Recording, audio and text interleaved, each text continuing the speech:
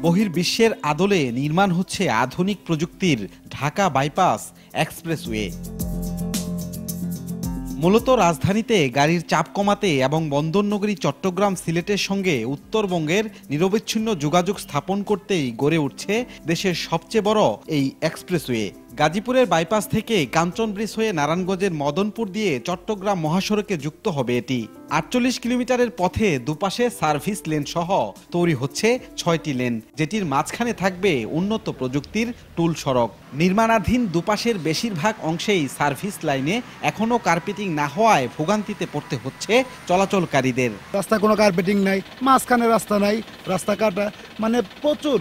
সকাল থেকে শুরু করে মানে চব্বিশ ঘণ্টা এই রাস্তায় মানে একটা ভোগান্তির উপর থাকি আমরা। মিরের বাজার ফ্লাইওভার ওটার ফ্লাইওভারের কাজ শেষ অ্যাসফল্টের কাজটা বাকি আছে।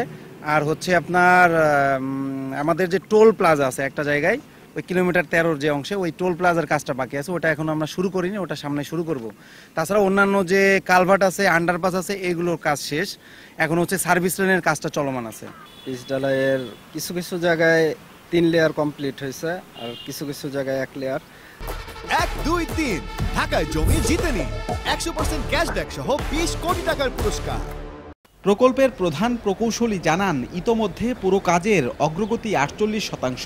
গুরুত্বপূর্ণ পাঁচটি ব্রিজের মধ্যে তিনটির কাজ ও নির্ধারিত দুটি রেললাইনের উপর ওভারপাসের কাজ সম্পন্ন হয়েছে।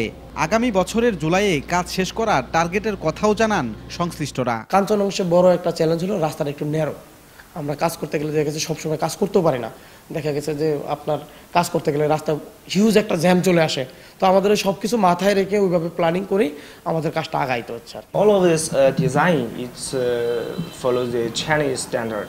We will finish the, all of this work uh, next দু সালের চুক্তির আওতায় চীনা ঠিকাদারি প্রতিষ্ঠানের সঙ্গে দেশের দুটি প্রতিষ্ঠান যৌথভাবে দু হাজার একুশ সালে প্রকল্পের কাজ শুরু করে প্রকল্প সংশ্লিষ্টরা বলছেন, সবকিছু ঠিকঠাক থাকলে খুব দ্রুত সময়ের মধ্যেই মীরের বাজার ও ধীরাশ্রম অংশের আটাশ কিলোমিটার খুলে দেওয়ার পরিকল্পনা রয়েছে।